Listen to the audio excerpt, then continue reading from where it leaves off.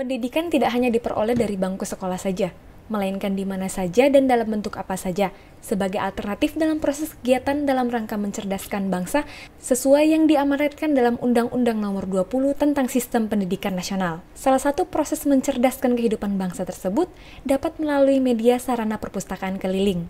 Bribda Yusran, polisi yang bertugas di Mapolsek Tabulahan Polres Mamasa Polda Sulawesi Barat, menjalankan giat pustaka keliling sejak bulan Februari 2019 ini berlanjut hingga sekarang.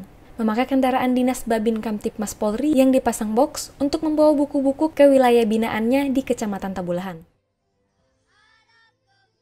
Dari Mamasa Sulawesi Barat, Tim Liputan Tribrata TV, Salam Tribrata.